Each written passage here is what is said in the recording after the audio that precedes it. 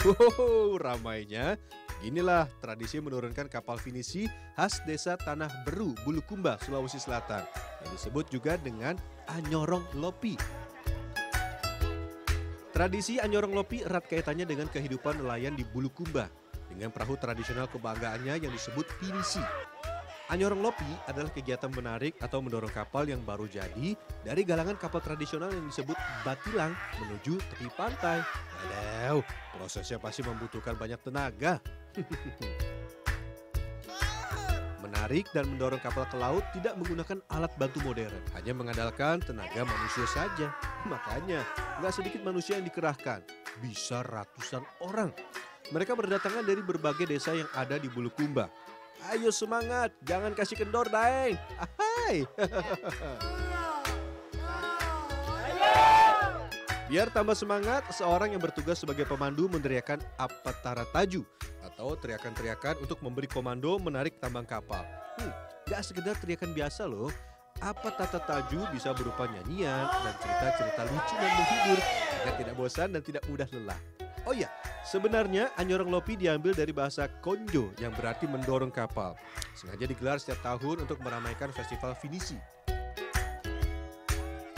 Anyorong Lopi dilakukan bisa berminggu-minggu, tergantung ukuran dan berat kapal dan pasang surutnya air laut.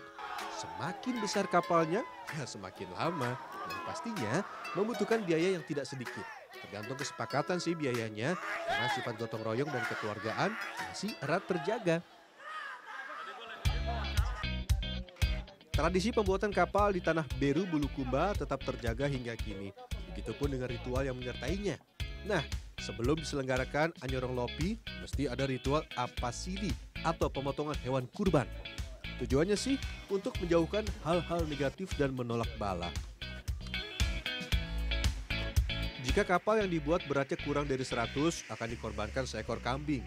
Tapi jika lebih dari 100 ton harus memotong seekor sapi. Hmm, hewan kurban untuk ritual apasili umumnya menggunakan yang berbulu hitam. Hitam menjadi warna yang istimewa bagi suku Kajang, simbol persamaan dan kesederhanaan. Nah, uniknya, sebelum dikurbankan, kambing didandani layaknya manusia oleh Pandrita Lopi atau dukun adat. Hoho, apa ya mesti didandani segala? Jadi bingung nih. Tuh kan, sampai diselimuti kain putih segala. Diberi minyak kelapa dan bedak sekalian. Tinggal ngaca deh. Dari dulu memang sudah begini tradisinya, karena sebagai hewan yang akan dikorbankan mesti rapi, gak boleh sembarangan. Namanya aja persembahan untuk para leluhur. Usai didandani, kambing lalu dipotong di atas kapal, diiringi dan ditutup dengan doa-doa keselamatan, agar kapal yang berlayar nantinya selalu dalam lindungan Tuhan Yang Maha Esa. Terus daging kambingnya buat apa dong? Ya dimasak lah untuk dijadikan sajian makan bersama. Ikut yuk cara masaknya.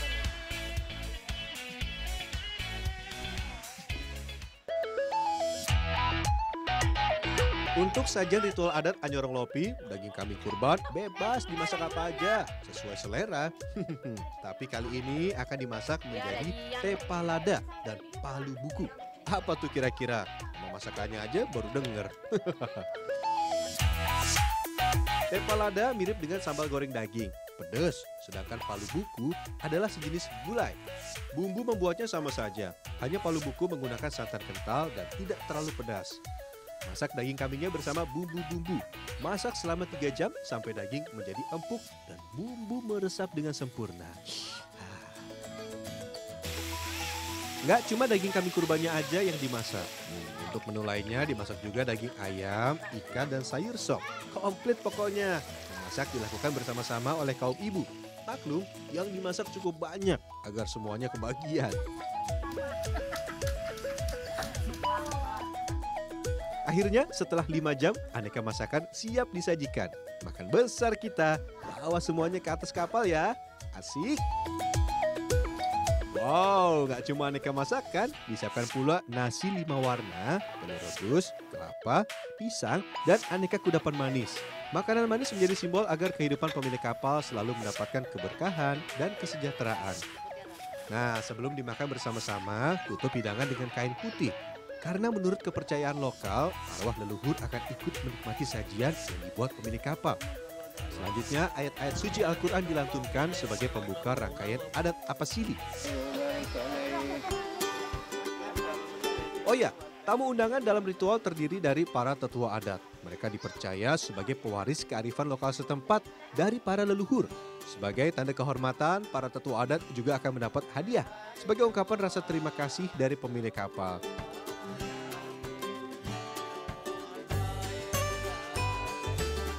Sang dukun lalu membakar kemenyan dan membaca doa-doa keselamatan. Air suci lalu dipercikan pada seluruh bagian kapal menggunakan dedaunan yang dianggap memiliki tuah tertentu. Disiapkanlah sejenis bermacam-macam dedaunan dengan simbol-simbol tertentu. Ada yang dikatakan tahasiri supaya punya rasa malu mempertahankan harga diri apa dan sebagainya. Ada daun sidingin supaya senantiasa uh, dingin-dingin.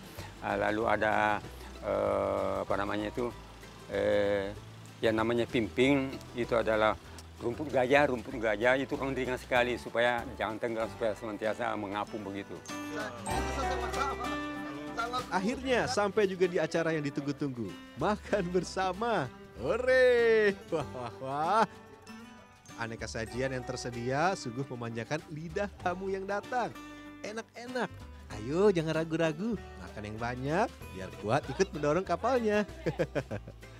Oh iya, khusus untuk kepala kambing yang dimasak hanya diberikan kepada anak lelaki pemilik kapal. Dengan maksud, kelak di kemudian hari sang anak bisa melanjutkan usaha ayahnya membuat kapal. Mantap!